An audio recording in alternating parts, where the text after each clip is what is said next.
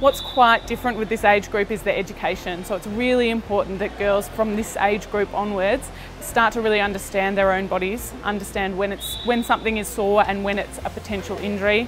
They, they need to start knowing when they need to report these type of things to their local physios at home um, and get treatment before it becomes a, a great big problem that will cause them to modify their training. Keeping your pelvis level, rolling up, rolling down.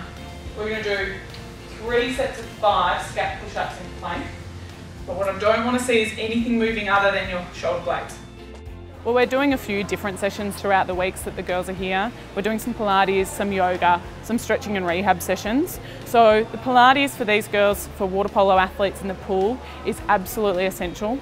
So given that they're not on a stable base, they really have to be quite strong through their core to be able to connect when they're shooting, throwing, wrestling. Their core needs to be strong because that's where all the power comes from. So it's really um, important that the girls have an awareness of what their core is, what a good position, what a good posture is, because if we can get their movement as um, efficient as possible, um, it's, it's easier for them to build strength and power and feel strength and power in the water. So Pilates kind of in, encapsulates that. The yoga stuff's really important in terms of some of the stretching, but also some body awareness. So girls trying to get themselves into some positions that they might not normally get into um, to maintain good muscle um, length, strengthen outer ranges of muscles, and then um, just maintaining um, range of movement that these girls might not always work in the pool as a water polo athlete.